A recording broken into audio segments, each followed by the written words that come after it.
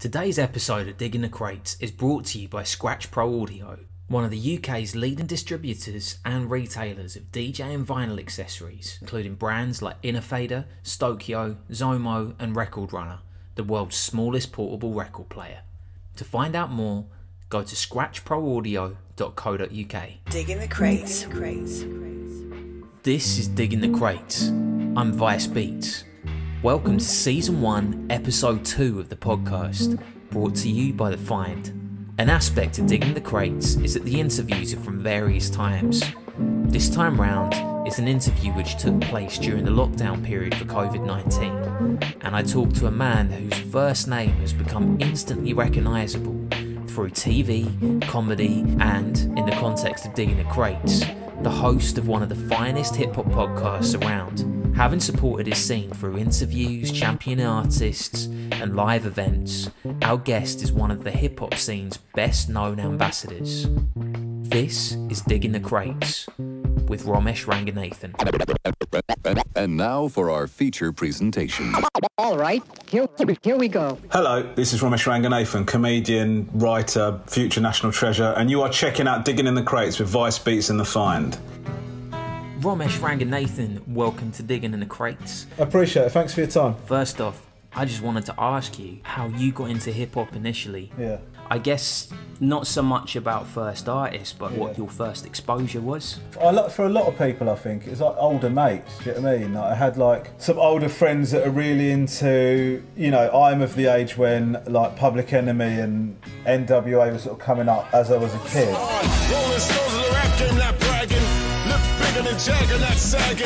Rolling nothing to do with rap. Shut the facts, expose those cats who pose heroes, take advantage of blacks. The government's gangsters, so cut the crap. A war going on, so where y'all at? Fight for power, cause great responsibility. F the police, who's stopping you from killing me? Disasters, fiascos, a loop by PE. If it's we believe in TV. Rich and is new thing about snitches. Watch the masses move as the masses switches. System distant, but barely missed her. My soul to save my brothers and sisters. And so I was hearing that kind of music from my mates who were listening to it. And it was a weird one because, like, my parents, you know, I'm originally Sri Lankan. My parents are really into, or were really into, uh, and my mum still is into that kind of like disco and shit like that. So when we didn't really hear, that's all I heard. Like, my mum and dad are really into music. All we heard was like disco and reggae and stuff like that in the house. And when they have friends around, that's all they put on. But they hadn't really. Um, and so I'd sort of listen to a bit of that and then pop just from being a kid. So I hadn't really listened to anything. I think I got into. I think the first artist I remember really getting into, even before hip hop, was Prince, and I remember like listening to a lot of Prince and stuff like that. But um, I had just hadn't heard any hip hop, and and when I remember like my mates listening to it, my older friends listening to it, and um, and it just sounded so different to anything I'd been listening to or heard or whatever. And I think there's something exciting. I think that's what what gets a lot of people into new music is when it just it just totally sounds mad. Do you know what I mean? Like it, uh, and I think you know it, it's that whole thing of it just turns your expectations upside down of what you think music is or whatever. I remember being like, "What the fuck is this?" It just sounds like you know I just couldn't even process it. And and like so, the first time you hear it, you just go, "This isn't music." and then like, do you know what I mean? It was almost like that. And then you noise. suddenly like, "This is yeah, yeah, exactly." And then you're like, "This is mad." And then I just got into it from there, and then I just started seeking it out, you know. But it was so difficult to be into hip hop back then because I think maybe HHC was just starting or had, had come about a little bit beforehand, but you just didn't know where to find the best stuff. Or you know, I'm in, I grew up in I grew up in Crawley, and Crawley is not known as one of the UK's major hip hop hubs. Do you know what I mean? There's no scene. So like you know, there, and nobody I knew at school or anything was into it apart from you know like my older mates were into it, but they were just into that, and they were listening to it but also listening to dance and rock and whatever else they listen to. Like they happened to listen to a bit of hip hop, whereas I wanted to just listen to hip hop after that, and I was like trying to really like dig down into it, and that was um, I was sort of working like blindly for a long time. Do you know what I mean? Just trying to find whatever I could. Scrabbling about. Yeah, and also there weren't any. I, I got into Hip Hop Connection later, but I remember my early experiences of being into hip hop were like there were no magazines that were specifically hip hop magazines, and so you would get like a dance magazine and turn to the hip hop page, Yeah, where like it'd be DJ like yeah, something like that. Do you know what I mean? Where some guy had been tasked with reviewing the hip hop releases that month, and he didn't really give a fuck. But he had to write a couple of paragraphs about it, whatever. Yeah. And that would be my source for like trying to get the, the like get a heads up on what stuff to check out. Do you know what I mean? Yeah. So it was a pretty ignorant early uh, baptism. So I mean, you said about HHC. Yeah. Once you kind of got into that point and you were like starting to understand it, who were you kind of finding was inspiring you a little bit more, and you feeling like, yeah, I'm feeling these guys. Well, it's weird. Uh, uh, well, I mean, it started off with, with Public Enemy and NWA and like the Yeah. obvious ones like that. And then one of the things that I was really excited by was just the range of sounds within that one genre of music, you know. And I remember really getting into De La Soul Yeah. and the whole native tongues group and you know i just thought that i liked i really fell in love with the whole native tongues collective to be honest with you like tribe and black sheep and, and all of mm. them i just felt just the variety of it was so great i remember i, I remember loving three feet high and rising Yeah. and then when and then when de la soul is dead came out uh, my, I don't know how many people, I don't know how common an experience this is for people, but I remember being really disappointed by I it. was, heard it. yeah, same. Yeah. Because do you remember it was like I bought the tape and it had it had a comic strip for the skits. And De La Soul loves skits, don't they? But like it had a little comic book in the inlay, and you could follow the story Yeah. of like what was happening. And it was like it was weird because it was a load of people talking about how they didn't like the album. And I was listening to it going, I don't like the album. Like I think I might be one of these punk kids that they're fucking taking a piss out of. Because I just wasn't as into it as I was the previous one. But then, you know, as is the case with a lot of this stuff, I re- you know, you get into it, Grows and then you. now I, I, I love that record. Do you know what I mean? But at the time, I think maybe it's because it was. I think it's so hard for groups, particularly in hip hop, when the music moves so quickly, to do a second album because you set out what your sound is in that first record, and then on the second record, people don't want you to do this exactly the same thing you did before. But then if you move too far away from it, people get pissed off. Do you know what I mean? So it's a weird, Yeah. it's a weird kind of conundrum. That Kind of get locked into it. Yeah. It is strange, you know. I mean, especially with people like Nas, where he was a teenager when he was setting out with his original projects, and Yeah. now he's in his forties, and like people are still saying, "Oh yeah, but nothing's ever gonna be as good as Illmatic." It's like, I know, uh, okay.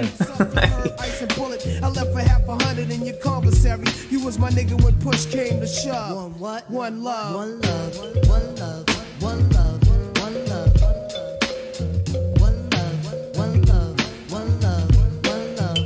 I know it's so it's so mad because obviously, Illmatic is got an unfair advantage because it's. It, it- I know that he did like, you know, he appeared on tunes. That's what made his name. That was the first time you heard an album with a kid with that style. Yeah. And so every other album after, but then the same thing happened with it. It was written, wasn't it? It's like. I. I, I was disappointed. I was like gutted when I heard that album the first time. I was like, fucking hell. I think because even the lead single with Lauryn Hill, Yeah. Um, I remember thinking, shit, this isn't, this is so different to what I thought Nas was going to come out with as his lead single off the next album. So, but then you sort of go, oh, okay, well, it has moved on. I mean, a lot of people would argue that Nas has never matched up to what he's done in Illmatic, but I don't think so. I It's- think it's. there's some gems, aren't there? right? yes, yeah, a hundred percent, yeah. Yeah, it's just kind of the rawness of Yes, it. It's interesting though, the music you seem to, to listen to, it literally seems like you're just into all aspects of hip hop culture and it's from from you doing stuff yourself to, Yeah. to also the artists you're into. I don't know, like I know on my side, whether it's getting older or whatever it is, I'm leaning towards the lyrical stuff. I know I like it. Like if there's a trumpet or sax in it, like I know I'm sold on it already. But like it's Yeah. kind of Yeah, But yeah. are you do you find that there's even though I know you like into a wide range, do you find that there's a certain sound that As soon as you hear a certain element, you think, yes, that's the thing. The truth is, is I did think that I had that. I thought that I knew, you know, I, so, similar to you, I can't abide by if I think the rapper's shit on a track. Like, I, I just can't, or if they don't have, because so many of my favourite artists, I could just listen to them do anything. Like for example, I'm a, I love Sean Price, right, and I just think that I could listen to Sean Price forever. I just love his style. I love the way. I love his voice. I love the way the, the his cadence, the the, the flow of it, the, the everything, the way everything fits together, and even the stuff he talks about. I love all of that. Yeah. And and so that's always going to be if I don't like the rapper, if I don't think the rapper's good, or I don't think they've got a charisma. It's not even. I used to think it was about having all these multi-syllabics and all that shit, but I don't anymore. I think it's about charisma, hmm. just having an authenticity to your sound. Do you know what I mean? That it doesn't sound like anybody else, and it's like you know, you listen to like a guru. You know, you wouldn't argue that Guru's got the most complex style, but it's him. you, but it's him exactly. Yeah. Do you know what I mean? And so that's what makes him as a rapper so appealing. And so it's always it was always to me like about the lyrics and about the style of the rapper. But I think like, and I know that he's a lot of people's favourite rapper. But you listen to someone like Doom, Yeah. and Doom. You listen to him, and a lot of the time, I don't know what the fuck he's on about, but but his voice is an instrument in the mix. Do you know what I mean? And and I like the way it sounds, and I don't necessarily follow what he's going on about. You could argue the same about a lot of Raekwon stuff. Do you know what I mean? I sort of listen to it and I go, I've not followed this story at all. but like, but you still you still enjoying listening to it. Do you know what I mean? head like, "This sounds yeah, exactly, exactly, exactly. Yeah, that sounds like shit, man. Yeah, that sounds like those guys. Those guys really did uh, do something wrong there. I can't follow what it was in any shape or form. Um, but so, but I, I do think so. I do think I've started to appreciate the fact that there's. It's not just about spitting these incredible metaphors and shit like that. It's also about the musicality of it and. You know, and I remember like when I used to, I mean, I was absolutely fucking dreadful at it, but when I used to like try and freestyle or whatever, or do these battles and shit like that, I remember one of the things that I was really crap at was feeling the music of it. I was very much into, I need to have some incredible diamond hard metaphor to put somebody down, but actually, you know, the, the actual musical side of it, I wasn't. as- I didn't have any swagger, for want of a better Yeah. word. Do you know what I mean? So like, and I think that, and I think since doing, you know, obviously from doing the podcast, and it, it's forced me in many ways to listen to a wider range of hip hop than even I was listening to, and I think like, I think I'm a bit more accepting.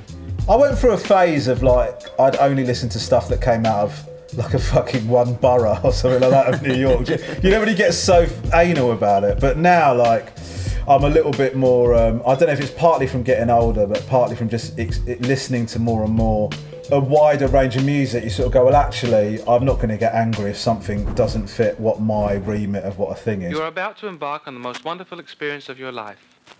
I will not explain at this moment how and why it works. I don't have the time, it just does.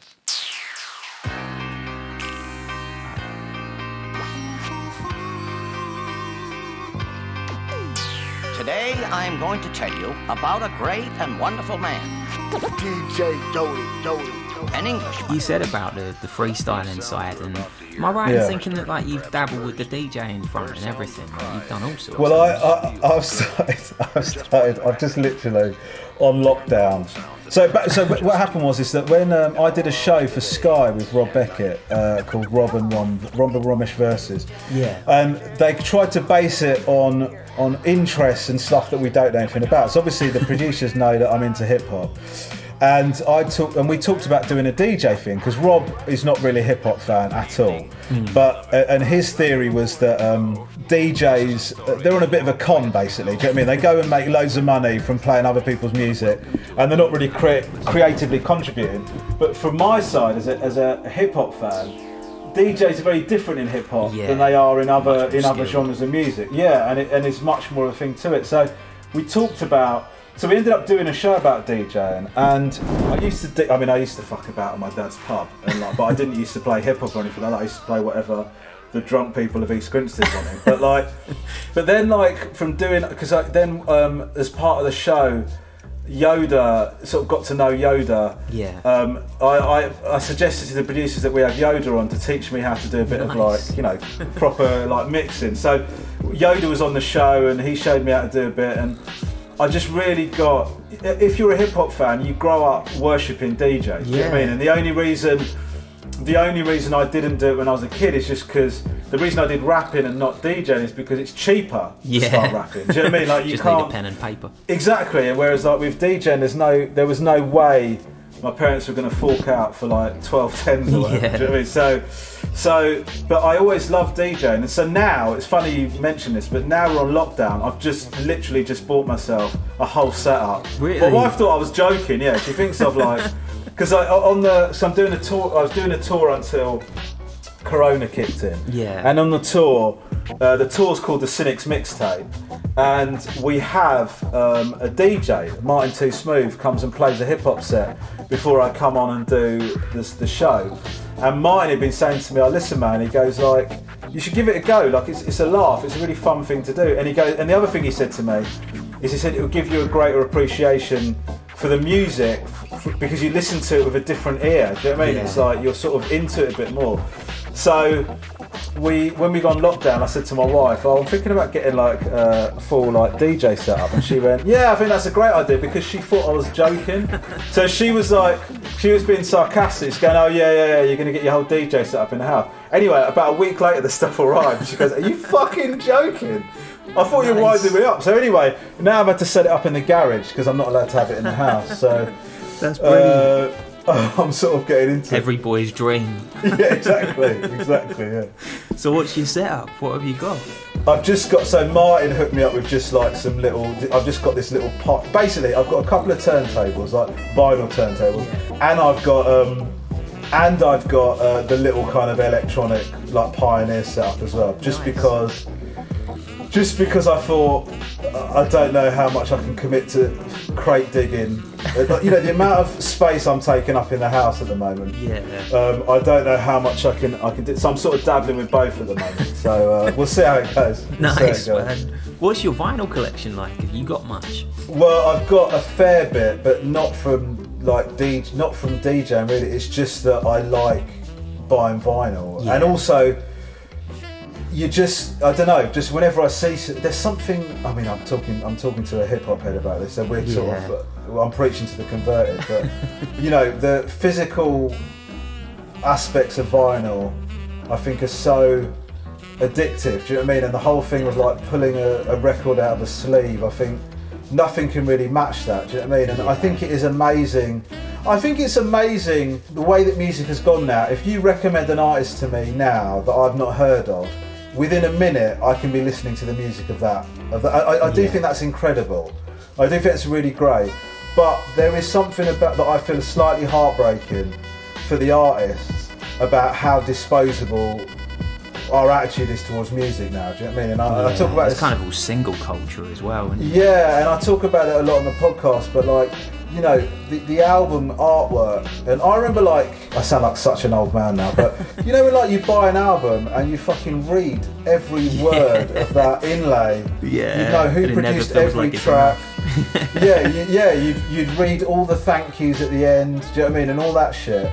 Like, it, you'd consume every fucking element of that because, I guess, because that's the only thing you could afford Yeah. for that week or that month or whatever. So you wanted to get the most out of it that you could. So, so the whole thing of like sitting there and putting a record on, even not for DJing, but just putting a record on and having it on. And I just think you end up listening to songs. That, there's so many times when you put an album on and you think this song's shit, but you just have it on because it's on, and then by the end of it, but you know, give it a week or something. That's your favourite song on the album. it's a It's um, yeah, exactly, yeah. So what's your gems in your collection, man? What's the vinyls where, where you're really proud that you got? Uh, well, do you know what? It's just I've got a load of old. Like I, I went through a phase of everybody bought me breaks compilations from like from like old records. Like, I went through a phase of like I'd go to gigs. And the promoter would go, "Oh, I saw this at a record shop, and I thought you might like it. Would like give me this." So I've got, I, you know what? If I wanted to become a producer, I reckon I've got the arsenal. I, I, I reckon I, I could do it. All I need is a, all I need is a requisite talent. That's the only problem. You've dabbled with production though, haven't you? Well, I, I, I sort of, um, to be honest with you, I kind of, um, you try and fuck around with everything. But the thing is, is that I don't want to insult people who are actually involved in hip hop and actually know what they're doing. I don't think I can be a rapper. I don't think I can be a DJ. I don't think I can be a producer. What I do do is like piss about with it. It's the same way that you might take a football down the park. Do you know what I mean? I don't Yeah. think I can I can play for Arsenal, but I'm gonna have a laugh at doing it because I love football so much. It's the same thing with hip hop. I love hip hop production, so why wouldn't I Mess have a little bit of a go Yeah. at yeah, mess around with it. I don't have any. I don't think I'm gonna be. I'm not doing it thinking.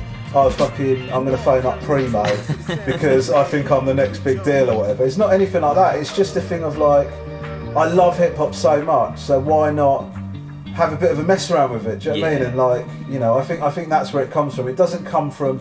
I wouldn't want anyone to think that I think I've got a talent at it. I don't.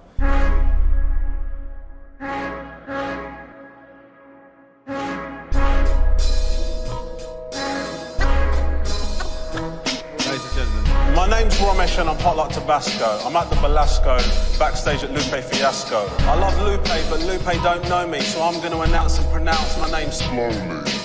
Romesh Ranganathan, hip hop is my heaven. An Uber driver told me I look like I work in 7 Eleven. I come rotten like a sheep shagging some mutton. My style is super memorable, your style is soon forgotten. It's not on, I rock on, any track I drop on. Scary like a prison guard about to strap his cock on. I come wicked like the devil's ejaculate. The immaculate conception of my form is uncompassionate. Mediocrity, hypocrisy or monotony. Step into me first in the cipher is false economy. Ask your friends about me, they'll tell you that I'm the nicest. I've got flavour like 11 herbs and spice. I just think that the only thing I've never really tried is breaking. Do you know what I mean? I, I just, I just think that is beyond. Uh, yeah, same. I think I attempted a windmill and nearly snapped my neck and thought, no, no, not this one. I know, I know, yeah, exactly. Yeah, yeah. this this corner can stay over there. Uh, Exactly, exactly, yeah. How did the podcast like Hip Hop Saved My Life come about? Like, where where did that come from? Well, it's a it's a bit of a weird one because um, so what happened was is years ago when I first started doing stand up, they did this and they still do it. Um, this thing called the Camden Fringe, which is like Edinburgh, the Edinburgh Festival, but in Camden, right? And all these different venues that have comedy going on. And there's Rupert, who's on the podcast now, who runs a podcast with me. He's a, he still is a comedy. He's a comedy producer and comedy promoter. And he'd said to me, "Oh, he booked me to go and host uh, one of his venues like later on in the evening, right? Yeah. So um, I saw him in the morning. I said to him, "I'm going to go off." I had a load of gigs that day. All the comedians were doing like shitloads of gigs that day, right? So we went off. I went off and did my gig, and then I came back, and um, we- I came back that evening to host his gig, and it was fucking carnage, right? Like. The crowd were going absolutely mental. They were smashed, right? They're absolutely battered and um, they weren't listening to what anybody on stage was saying, right? So I was like, "Fuck me, this is like the gig from hell." so I went up to Rupert and I said to him, "What the fuck are we going to do, man?" I said, "This is like mental," and he goes to me, "Look," he goes, "Why don't we just try something to try and grab their attention?" Like, and because Rupert's obviously a hip hop fan, and he knew that I was a hip hop fan, and he goes, "Let's try and like do something hip hop comedy thing." So I went, "All right, fine." Let, you know, it it can't go any worse than what's happening now, which is essentially people throwing their shit on stage. So I went up on stage and I started like just um, doing like I, I, I can't I, I started just doing hip hop jokes, and Rupert was on the decks backstage.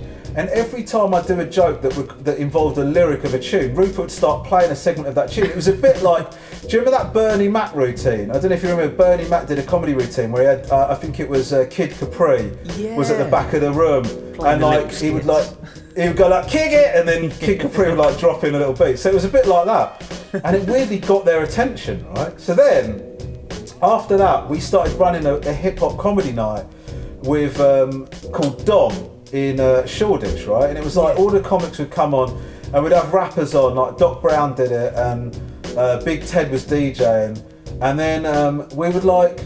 All the comics would talk about hip hop during their set. They'd write a specific set about rap music and their love of hip hop and shit like that. But the problem with that is you, we ran out of people to do it so quickly. do you know what I mean? Like, and they're also getting comics.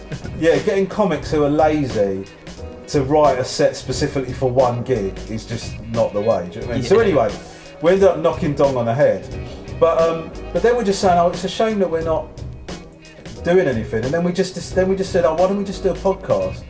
And we knew Mark Smith, who was a comic, he's a comic still comic, but he was like really into his hip hop. And we just sat in Rupert's office with a couple of mics and just interviewed Mark. And we didn't have any ambitions for it. In fact, I think like we were so unambitious with it. I think there's a year between episode one and two of that podcast. I think. Like that's how like slack we were about doing it, but we just That's didn't have any ambition. For, yeah, yeah. This is the Hip Hop Saved My Life podcast. Thank you for listening to the podcast. Hope you enjoy the podcast. Now sit back, cause it's time for the podcast.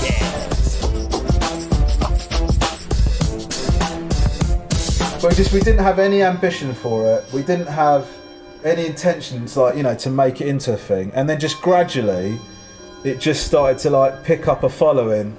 And uh, look, it's not massive now, but it's turned into something that has led to like people asking to come on. And Yeah. you know, just like the other week, I got I was like really lucky because they were doing um, the 25th anniversary of Illmatic. And they picked people that they thought were like contributed to hip hop in, in like the hip hop scene in the UK Yeah. to send a gold disc to, and I got sent one. I was like, fucking hell! like this is amazing. They didn't have a spare one for Rupert, sadly, which was great. Ah, Um, but, um, like just but yeah. stuck a post-it on. Uh, not yours. Um, so yeah, so it's like you know, it's um, it's a, really nice because we just didn't have any. There was no professional desire to turn it into anything, and Yeah. we've been asked that we, you know, we got approached once to turn it into like a radio show or a, even like maybe a TV thing, but we've just always resisted. We just sort of thought, well, we're kind of happy doing it as a podcast, and also doing the live shows, which we started doing as well. They're just such a laugh. So it's more, you know, we pretty much the only money we make from it, we end up kind of putting back into it. Really, it's sort of uh, it's a it's a it's a, a project. It's a passion project rather than a, a thing that we're trying to turn any financial uh, results out of. Nice man. You say it's pretty much all of your guests, but have you actually got a favourite guest? Um, uh, I don't know actually. I don't. All the guests are different for different reasons. you know what I Yeah. mean? And one of the things we had to get used to very quickly is like because we had comics on initially, then we started having rappers on, and then you know we're having producers on and blah blah blah. We had to just we had to just trust that the listener knew that sometimes you get a funny episode and sometimes you get a muso episode Yeah. and they would just vary and you're not always gonna you're always not necessarily gonna get like for example we had tom davis on Yeah. who was like you know tom davis from Murder in Successville and king gary and his episode's hilarious but tom doesn't know fu- he knows absolutely nothing about hip hop do you know what i mean but it was still a funny episode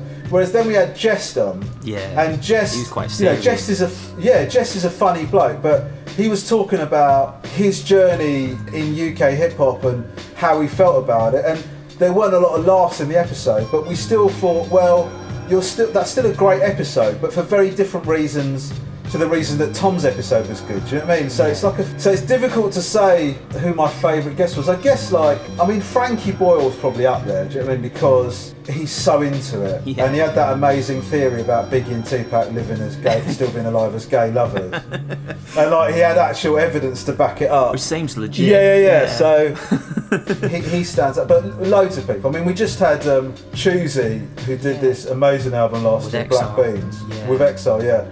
And he just, it was such a great way that happened. So I put together a Spotify playlist of like my favourite stuff from last year. And I guess they get notified when their songs have been attached to playlists or something. But he just saw, and he got in touch with me on Instagram and said, um, "Hey, I, thank, I just want to say thank you for putting me on this playlist." And I said, "No, man, listen, it's like one of my favourite albums of last year." And I said, um, "If you're ever in the UK, please come on the podcast." And then he just goes, "Oh, actually, I'm on holiday there in a couple of weeks' time." and so then, like, we ended up getting Choosey on the podcast, and um, it was just amazing. Like, it such it happened so organically. Do you know what I mean? And he was like a really funny bloke, and we got to hear about how he came to put that album together and, it, and how long it took to put that album, that record together. It was an amazing insight. So you, you, it constantly that podcast, doing that podcast constantly gives you little nuggets like that. Do you know what I mean? It's great. I love doing it. Oh, it's amazing, man. I mean, it, it is such a good show, and it's it's really nice as a hip hop head, as you say, to like kind of have that that element to it because it just doesn't feel like there's. I guess there's.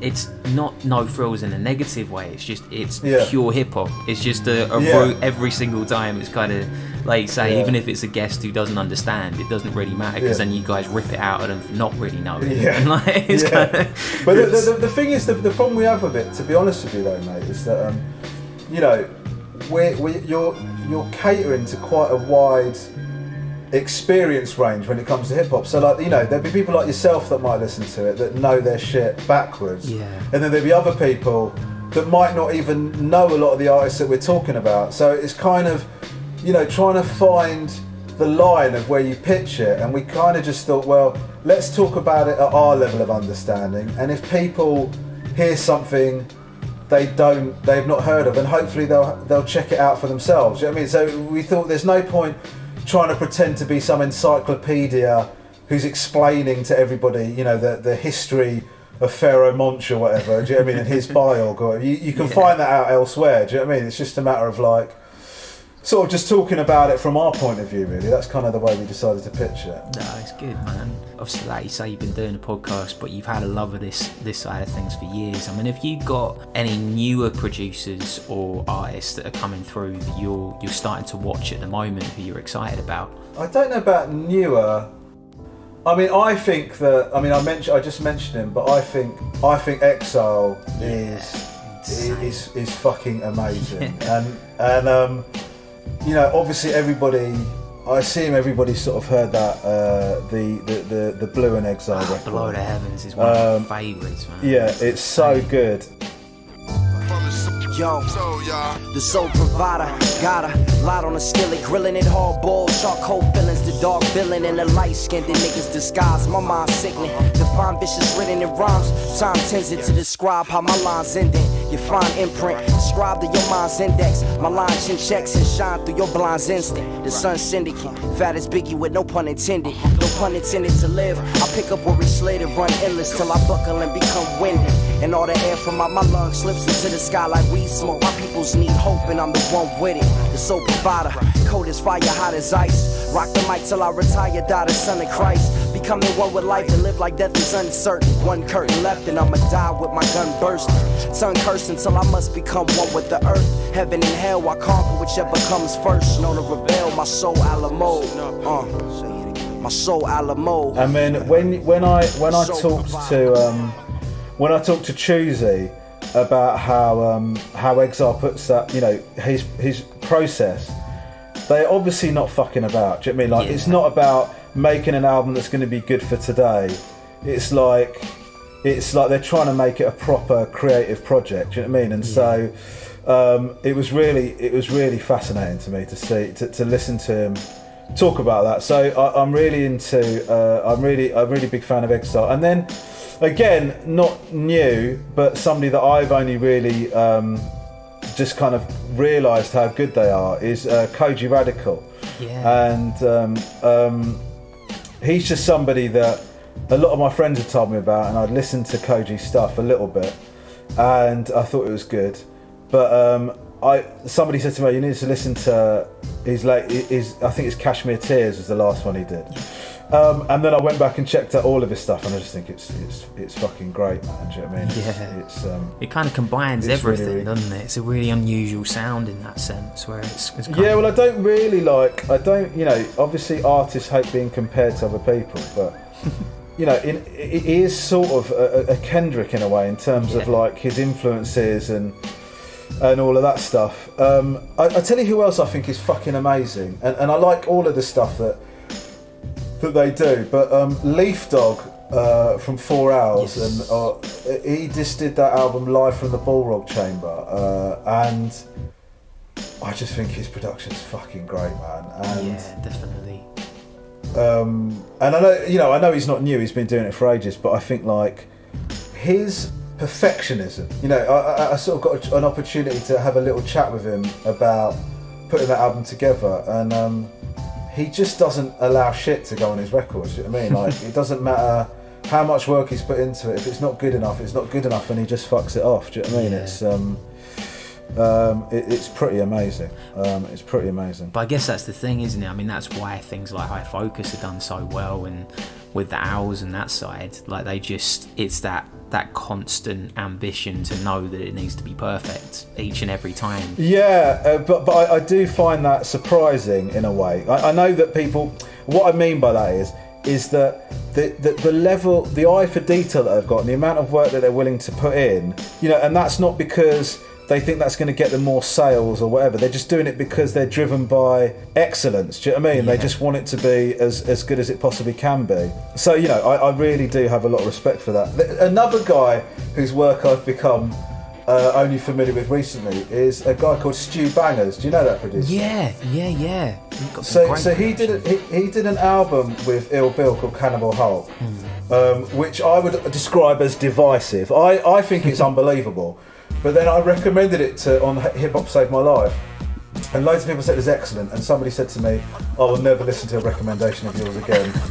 After recommending that album, This is a drive-by. Hit five guys and leave extra catch a professional head sever. You know that. The seven deadly sins I already did.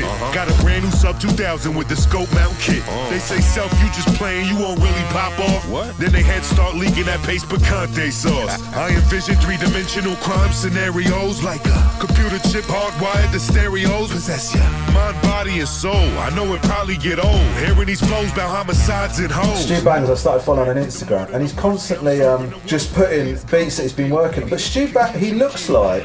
He's, I don't. Have you ever seen? Do you know what he looks like? No, I don't think he- I do. He's just, he's just, he's just like absolutely fucking massive tonk white geezer who looks like. I I hope he doesn't. I mean, I'm sure. Oh well, he probably will mind me saying this, but I'm going to say it anyway. he looks like he's about to go and fire up the barbecue out back. Do you know what I mean? I mean, he's like, and it would just be, it would just be. Um, He'll just come on and do an Instagram post, and it's just him playing in a beat, and it's fucking amazing. And, and you just can't believe that he looks like that, and he's producing stuff like this. It's amazing. But all of his all of his beats are wicked. That's I've become a huge fan. I wonder if there's like any librarian producers out there. Like, I think that's that's kind of the one niche that hasn't been covered so far. Where, There like, must be, man. There, there must, be somewhere. It, it requires that level of study, doesn't it? Yeah, it's true. Do you I guess I mean? we're all Like- geeks. It's just that it's Yeah. uh, we all Yeah. try and claim that we're cool and like yeah, yeah, but Yeah. it's something good. Yeah. Yeah, uh, hundred percent. Yeah. on that tip, man. I mean, how did your books come about? What was the motivation for writing with that side of things? Well, basically, the truth is that came from uh, me reading books by comedians in the past. So, for example, I'd read Steve Martin's book, Yeah. and then I'd read Frank Skinner's book, and I'd really enjoyed both of them. And I and I'm really into Richard Pryor, so I've read Richard Pryor's. Well, there's loads of books written about Richard Pryor, which I've read most of, and uh, you know his book as well. I read that, and I really liked as a comedy fan. I really liked reading about the journey, for want of a less wanky word, that these people are taking to, to get to where they were. And so I, it started occurring to me that maybe I'd want to write a book, but I hadn't really given it a lot of thought. And then, obviously, after you, you know your profile hits a certain point, you get publishers asking the question. And I've been asked a couple of times in the past and thought, oh, I haven't got, I can't really see it, or I don't really know if I can. Not that I can be bothered, but it's like you just sort of think, oh, maybe I'm probably too thick to write. But that's that's the honest truth. You, sort of you sort of think about people that write books, and you think it's intelligent, wordy, verbose people. You don't think it's some fat moron. You know I mean? So, so I just did. So, but anyway, in the end, we ended up chatting about it, and I just sort of thought, oh yeah, you know what? It could be a laugh. So I ended up writing this book straight out of Crawley, and then um, it was going to be, to be honest with you, it was just going to be a book of funny things that have happened you know, in my life, but it ended up being a bit more than that. It ended up being like, you know, there's some like shit that my mum and dad went through and stuff. So we, I, inc- I ended up including that in it because I wanted to give people that read the book something that I'd never talked about elsewhere. So there's a reason to buy the book. Do you know what I mean? But over and above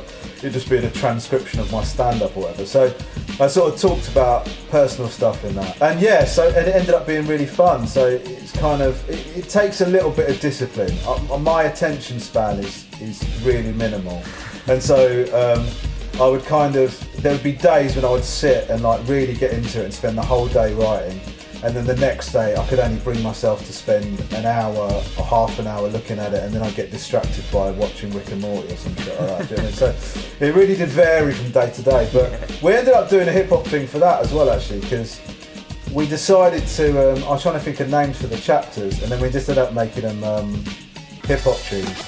So every chapter is named after a hip hop tune or a hip hop lyric. Yeah, it's nice sort the way he's done that. Locked up in isolation, have you found like any kid-friendly stuff that you're able to play where you're thinking, yes, I, I still feel hip hop? So I put together on Spotify a kid-friendly hip hop list. Nice. Because this is like an ongoing situation I've had. Because my wife, I think I remember the day I had Eminem on in the car, and um, and my wife turned to me and she goes, "The kids are going to get old. They're old enough now to start repeating this stuff. You, you can't you can't put swearing on in the car anymore." We had a discussion about it. Yeah. And um, and I sort of thought, well, do you know what? I don't feel strongly enough about this to to carry on. So then I just thought I'm going to start looking for clean stuff.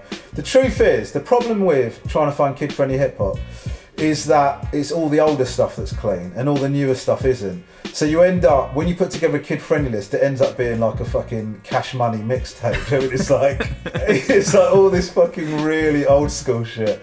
So yeah, I've tr- I've tried to um, I've tried to get the kids into into clean hip hop, but um, they keep listening to shit because because like they're into TikTok, right? Yeah. So TikTok is like it does have hip hop on those videos, but it's all stuff like Doja Cat Yeah. and Lil Yachty and Lil Nas X and all that shit. So um, I find it very difficult to um, to deal with. Yeah, it's it's not quite hip hop, really, is it? It's like you just No. kind of listen to it and grit your teeth. Yeah, I mean that Doja Cat. I've, I've heard that bitch boss track.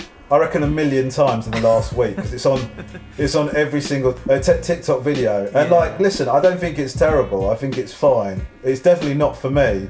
But like my kids being into, I sort of think, well, you know, it's, uh, it's not. I don't find it offensive. It's just uh, I wouldn't particularly choose to put it on. But th- but Doja Cat would be fucking delighted that I don't like it. I mean, Doja Cat is not trying to make music for me. She's not thinking. I hope a, I hope an overweight dad of three in Crawley gets really into this music. I don't think I'm a target market. Your your family's from Sri Lanka, aren't they? So I mean, is there? Yeah. What's the scene like over there? Like, is there a is there a scene? There, there is a very small scene. In fact, when we when we uh, I did a travel show in Sri Lanka about uh, must be five years ago now, called Asian Provocateur, where I went to Sri Lanka, and the whole purpose of the show was to get back in touch with my roots. But one of the things we thought was, well, let's, you know, my mum. The, the whole premise of the show is that my mum sent me there to get in touch with my culture. But then the argument, the the the discussion we had with the producers was like, there must be a side of Sri Lanka that my mum doesn't know because she's, she, you know, it's been years since she's been there. There must be a modern side to it. So we started looking for hip hop in Sri Lanka, and we found this hip hop group called Colombo MBs. Yeah. And I ended up doing a video. I ended up doing a verse on a tune with them, and we we put it in the the last episode. We filmed, we shot a video for it, but they weren't. Uh, we put it in the episode, so it's like we did it. My mum like had a little cameo on it and shit like that. And I went and did like went and did a rap battle with them in the first episode, and then they came back for the last episode, and we're in a video. They were, I think, I don't think there's a massive scene, but they were very much like I don't know how to explain it. They were a hip hop collective, but it was like um, I think they're a bit like maybe like Black Eyed Peas. It was kind of like it was hip hop. They were rapping, but there's also a lot of singing on it and shit like that. They, they were good, but it wasn't like I did. We didn't find Sri Lanka's Wu Tang. Do you know what I mean? Like put it that way. Yeah, fair enough. Is, so is that track out? Uh, we didn't put it out as an app because obviously because it's awful. But um, actually, I think it's on Netflix because that whole series is on Netflix. Yeah. So if you go to um, the last episode, well, the first episode is where you see me doing the battle with them. And then the last episode is where we do the video. it's pretty dreadful. is, is that the proudest battling moment? Above battle Yeah, scars and everything. yeah, yeah, yeah, absolutely. Yeah.